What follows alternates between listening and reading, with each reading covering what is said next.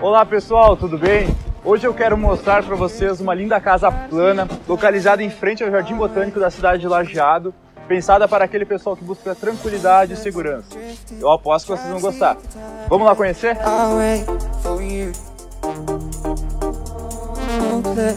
Logo de cara, a gente já percebe a iluminação e a integração em toda a construção. São 248 metros quadrados distribuídos em um projeto plano, confortável e requintado.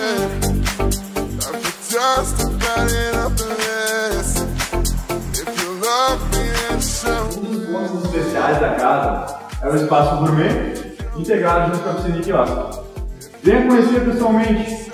Seu sonho já tem endereço.